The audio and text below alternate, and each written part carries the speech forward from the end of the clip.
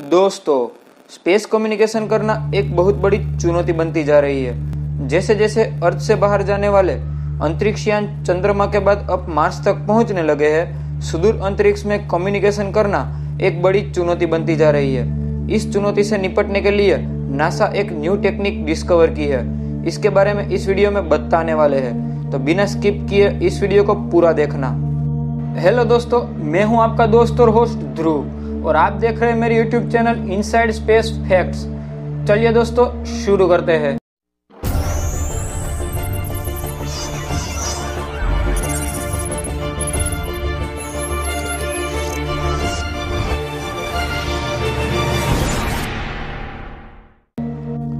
इस टेक्निक से space communication में क्रांति आ सकती है। नासा इसके लिए अगले महीने लेजर कम्युनिकेशन, रिले डेमोन्स्ट्रेशन, यानी एल लॉन्च करने वाला है। इस मिशन को 4 दिसंबर 2021 को फ्लोरिडा के Cape Canaveral Space Force Station से लॉन्च किया जाएगा। यह कम्युनिकेशन फ़िलहाल उपयोग में लाई जा रही रेडियो वेव से हाई फ्रीक्वेंसी से काम करेगा। अभी रेडियो वेव से ही स्पेस एजेंसी प्लानिट या सन की ओर जा रहे स्पेस मिशन से कम्युनिकेशन करते हैं। Laser communication relay demonstration optical communication में कैपेबिलिटी बढ़ाएगा। उससे स्पेस में कम्युनिकेशन करने वाली बैंडविड्थ में इंक्रीमेंट होगा। इससे इंस्ट्रूमेंट का शेप और वेट डिक्रीज होने के साथ उनके संचालन के लिए रिक्वायर्ड एनर्जी में भी कमी लाई जा सकती है।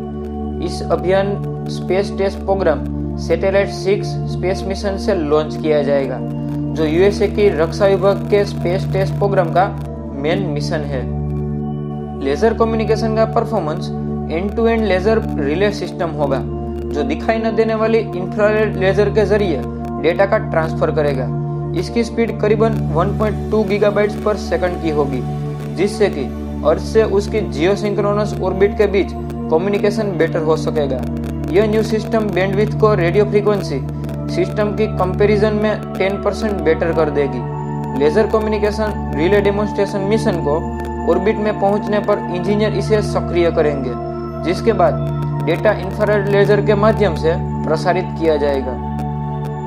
यह डेटा पहले रेडियो वेव्स द्वारा मिशन ऑपरेशन सेंटर से स्पेस में भेजा जाएगा और उसके बाद laser communication relay demonstration mission optical signal से वापस अर्थ स्टेशन पर भेजेगा।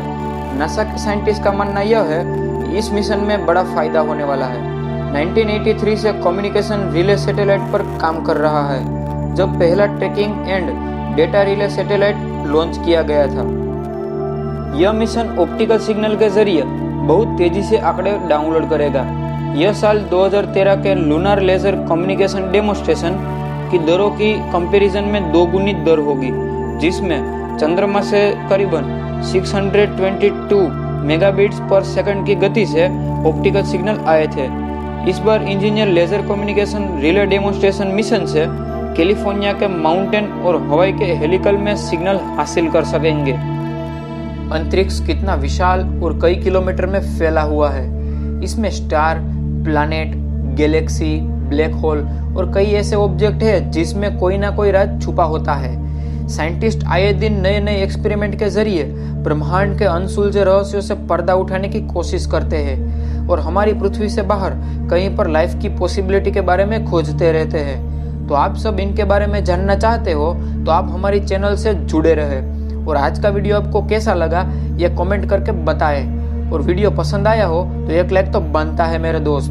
तो वीडियो को लाइक कीजिए और इस वीडियो को अपने फ्रेंड्स और फैमिली में ज़्यादा से ज़्यादा शेयर कीजिए। ऐसे ही इंटरेस्टिंग वीडियोस के साथ फिर मिलेंगे दोस्तों नेक्स्ट वीडियो में। तब तक के लिए have a good day take care yourself Jai Hind.